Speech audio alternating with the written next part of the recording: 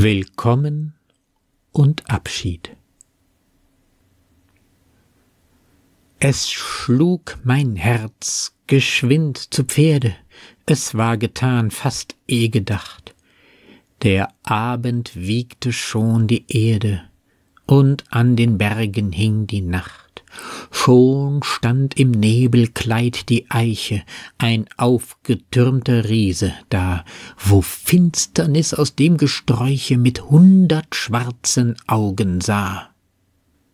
Der Mond von einem Wolkenhügel sah kläglich aus dem Duft hervor, die Winde schwangen leise Flügel, umsausten schauerlich mein Ohr. Die Nacht schuf tausend Ungeheuer, doch frisch und fröhlich war mein Mut, in meinen Adern welches Feuer, in meinem Herzen welche Glut. Dich sah ich, und die milde Freude floß von dem süßen Blick auf mich, ganz war mein Herz an deiner Seite und jeder Atemzug für dich. Ein rosenfarbnes Frühlingswetter umgab das liebliche Gesicht, und Zärtlichkeit für mich ihre Götter. Ich hofft es, ich verdient es nicht. Doch ach schon mit der Morgensonne verengt der Abschied mir das Herz. In deinen Küssen welche Wonne, in deinem Auge welcher Schmerz. Ich ging, du standst und sahst zur Erden und sahst mir nach mit nassem Blick.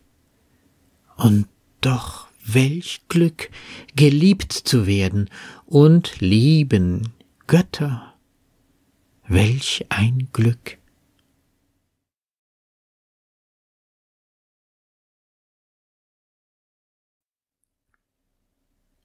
Ein junger Liebender schwingt sich in plötzlichem Entschluss aufs Pferd. Es schlug mein Herz geschwind zu Pferde, es war getan, fast eh gedacht, der Abend wiegte schon die Erde, und an den Bergen hing die Nacht. Sich bei beginnender Dunkelheit spontan auf den Weg zur Geliebten zu machen, erforderte damals durchaus etwas an Entschlossenheit. Schon stand im Nebelkleid die Eiche, ein aufgetürmter Riese da, wo Finsternis aus dem Gesträuche mit hundert schwarzen Augen sah.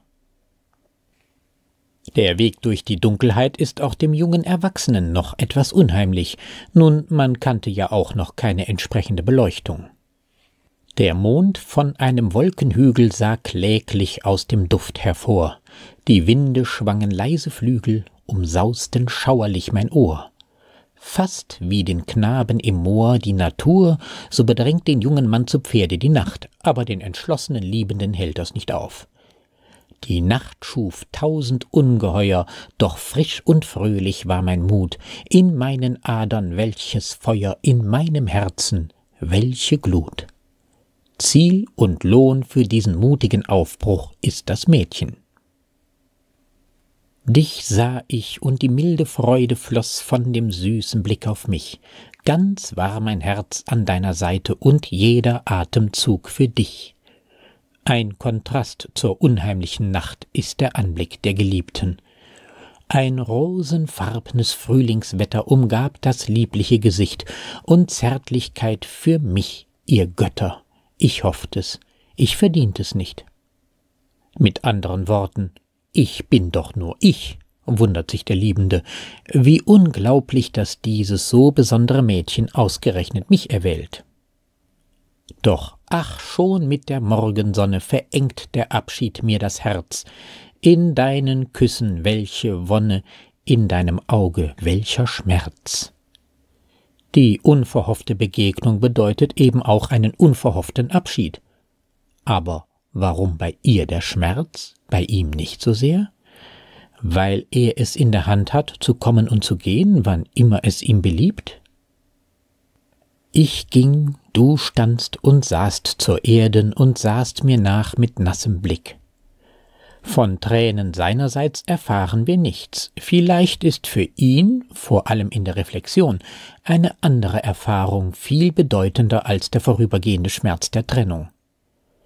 Und doch welch Glück geliebt zu werden, und lieben Götter, welch ein Glück. Die Reihenfolge ist von Bedeutung, geliebt zu werden als großes Glück, das leuchtet ein. Der junge Mann stellt aber überrascht fest, selber zu lieben bedeutet ein noch größeres.